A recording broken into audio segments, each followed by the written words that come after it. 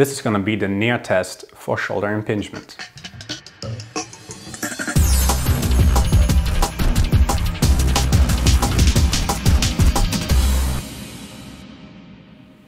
Hey everyone, the Neer test is another very common test used in the assessment of shoulder impingement. According to a big study by Hegedus et al. from the year 2012, its sensitivity is 72% and the specificity is rated at 60%. To conduct the Neer test, have your patient in a sitting position. With one hand, depress the scapula and with the other hand, internally rotate the patient's arm and then perform maximally forced forward flexion in the glenohumeral joint.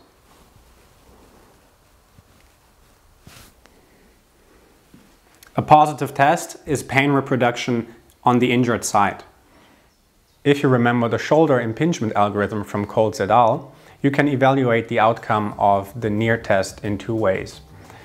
If your patient primarily complains of anterior shoulder pain during the test, it's more an indication of subacromial impingement.